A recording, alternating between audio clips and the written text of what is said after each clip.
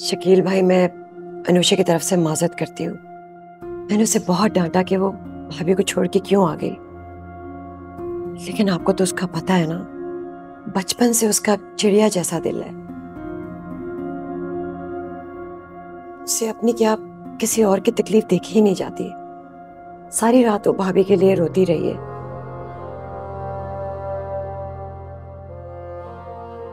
मुझे तो लगता है कि खुदा ने उसकी दुआ कबूल कर ली और भाभी उठ गई।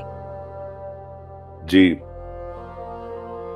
अल्लाह का लाख लाख शुक्र है कि इसकी तबीयत ठीक हो गई सबकी दुआएँ रंग ले आए।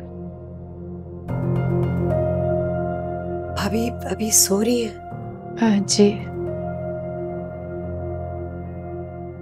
डॉक्टर ने कहा जितना आराम करेंगे उतना इनकी सेहत के लिए बेहतर है।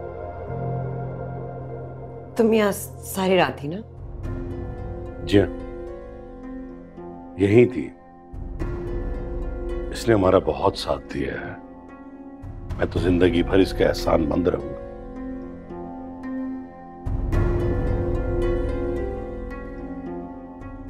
अंकल आप ऐसा क्यों कह रहे हैं?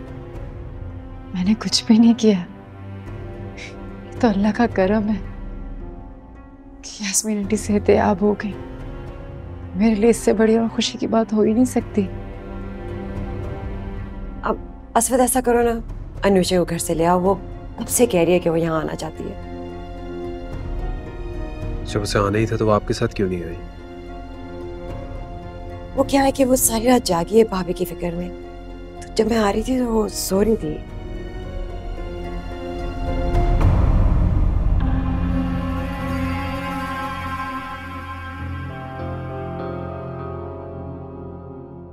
पेशेंट को डिस्चार्ज कर दिया गया है। फैमिली मेंबर में से कोई आ जाए डॉक्टर साहब बुला रहे हैं। मैं जाती हूँ।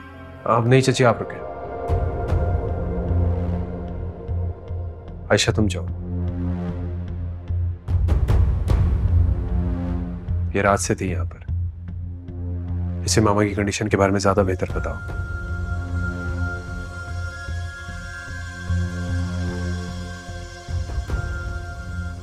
आयशा। प्लीज़ को जी जा हूँ।